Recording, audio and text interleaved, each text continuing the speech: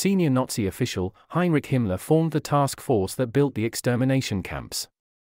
He then served as overseer of the camps, making him, perhaps more than any other, directly responsible for the Holocaust's six million deaths.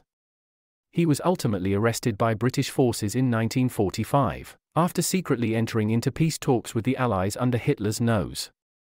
However, he committed suicide before he could be brought to trial. Auschwitz, located in southern Poland, was the Nazis' deadliest concentration camp. With more than 1.1 million deaths between 1940 and 1945, Auschwitz alone had a higher death total than the US and UK losses during the entire war combined.